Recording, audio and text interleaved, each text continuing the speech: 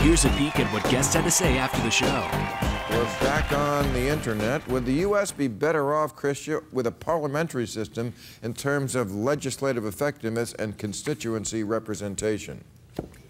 Whoa, well, I don't think it's my job to pretend I'm smarter than the founding fathers who we've just said are so mm-hmm. smart. Mm-hmm. Having said that, I think a parliamentary system, Well, you know who which said, we you know who have, did say that? Chief Justice, not Chief Justice, Justice Ruth Bader Ginsburg said if we were starting again, we would, we would, should I think we have- both have experience of it, and what's great about it is when you elect a majority in parliament, that majority can act. I once uh, spoke to Paul Martin, who had been our finance minister, and Bob Rubin. And Paul said that he called Bob up. They were talking about some financial matter. And uh, Bob said, Well, what are you up to, Paul? And he said, Oh, well, I just presented my budget to Parliament today. And Bob said, Oh, you know, how long is it going to get you? How long will it take you to get that budget through the legislature? And he said, oh, We did it today. We Yeah. just vote on it. I present it. And also- we talk about it. We vote on it. And also, done. there's no real lame ducks, right? People don't hang around for a long time in a parliamentary system after they're ineffective. Unless, except Israel. They just recycle again and again. Well, no. wh- Why do you know? Why do you say that? Well, almost everyone who's been prime minister, if they're still alive, is a member of parliament, and almost every member of Right. parliament will eventually be prime minister. They, But I- they have a kind of a rotating But I mean, deal. the government can fall with they get rid of the guy and still the Right. yeah. I mean, there's no Nixons. That, that situation would never happen in a parliamentary system. The Chris Christie situation might go on in New Jersey because Chris Christie, as I was about to say, uh, looks like that. Did I ever tell that you- David Wildstein guy is throwing him under the bus? Wow. And if you thought traffic was blocked before, Too soon. sure you were. Wow. Speaking of uh, how the government works, wouldn't it be, make more sense for government oversight hearings to be held by a neutral body, say the judicial branch, rather than Congress, which is always partisan? Well, two You- things. you two could things. lose your no, job These are, as- no, these are great. Two things. First of all, the opposition in Britain, the minority, actually does the, the, the key, the uh, oversight.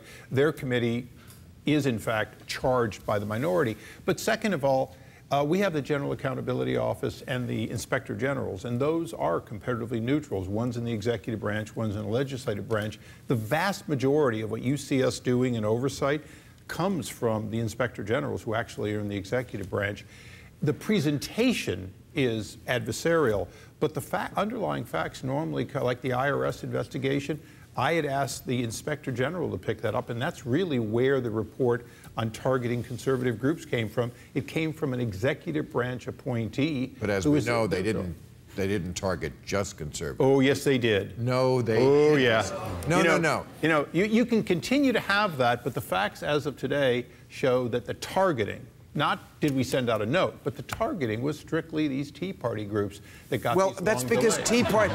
That's because the Tea Party groups have names like "fuck the IRS."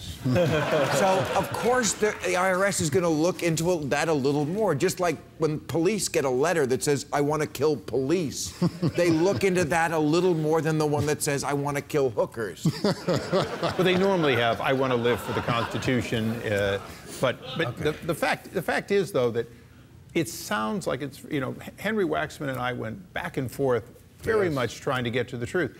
But when Henry was in the minority, in the majority in the House against Bush, he was very effective. And, and, and one of the reasons was, quite frankly, that he was looking for fault in an administration. Every oversight committee should look fault, for fault in every administration. Right. That's the only way you, really, you keep a country clean. But at some point, don't you have to let it go? When, I mean, like, I don't want to say the bad word, Benghazi, but, you know, at some point, I, I mean, it's just plain that, you know, a bad thing happened, but you have to work backwards from President Blackenstein is evil to, to really believe. I, I still don't know. I still can't hear anybody on your side succinctly tell me what the scandal is there. But, but also, in, in that case, and I think actually the same is true, uh, somewhat ironically, of the furor over Chris Christie and 2016 prospects.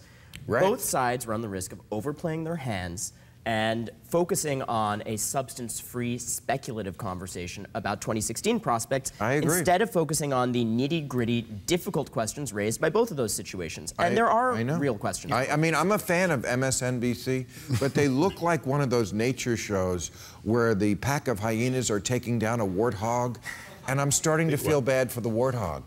You know, I mean, I'm not going to ask which party is which in this metaphor. I think we're just going to leave that No, out ask there. who is the warthog. I think. warthog is Chris Christie. In that metaphor, yes, absolutely. Look, I think MSNBC is reporting on Chris Christie. If you actually look at it, if you look at what Chris, Steve Kornacki did and others did, is very fact-driven. and I- I'm not saying it's not fact driven. Absolutely, it is, and I hate uh, false equivalency. Fa- MSNBC, one of the great things about it, and I am a fan, is that they are scrupulous fact checkers, whereas Fox News are scrupulous fact maker uppers. but one other thing I like But I about think the big- the about is bigger than any MSNBC, one thing I like about that network is that they tell me about important stuff, and I feel like this story has crowded out a lot of other news that's more important. I think it's a problem nationwide to the extent that it has been a conversation about what's going to happen in 2016. We've got problems right now. And I'm just saying, focus on those. don't I don't. become- I don't, don't think become MSNBC them. is the root of that. Problem. Don't become them. Don't be obsessive. It, I, I don't think MSNBC has been the worst at that. Like it, it worked in terms of ratings. Isn't that what drives this? Of course, that's what drives Look, everything. it was a conversation worth having, and to an extent, it needed to be covered. I think that Yes. was done fastidiously on MSNBC's air. I don't think they're the root Well, of the you problem are we're talking certainly- about. He's gonna keep his Which- show. I was just going to say, you No, are. but I agree with you about the problem, which is true across the board about over speculation about an election that is a ways off, and we don't know how much these situations are going to impact. us. Succinct, got the job. Bill, succinct Benghazi. Senator Feinstein releases a report only a few days ago that casts blame on many parts of the government, some of which there's still a question of if there's another threat like that, will the military, will the State Department be able to react? So the story of Benghazi is four people died. Let's make sure it doesn't happen again. And quite Right. frankly, Senator. Well, if, that, if that's what you had been saying all along, we wouldn't even be having a conversation. But the story of Benghazi That's is not what I also heard you say. Congress That's what four people spending died. to our Let's just not make it happen again. That's actually what that's actually what you've heard, not what you've heard me say. Oh, I, I've been talking about that. I, I, will I'll give you every quote I've made. Regardless of that, the question is in all these, these embassies, particularly in, in Africa, vast area, large as the United States, do we have a plan in place to make sure there's either sufficient security or these facilities aren't there? Men and women will die in support of our nation's diplomacy. The question is, are the systems in place to minimize that death? Ambassador uh, Chris Stevens was a career professional. He knew the risk. That's all true. But at the same time, in retrospect, we could have done a better job. We need to do a better job in the future. Let's, len- let's end on that note. Do a better job in the future, reaching across the aisle and protecting Americans. All right, thank you, everybody. Real time with Bill Maher. Ask Bill and his guests your questions right after the show at HBO.com or on Twitter.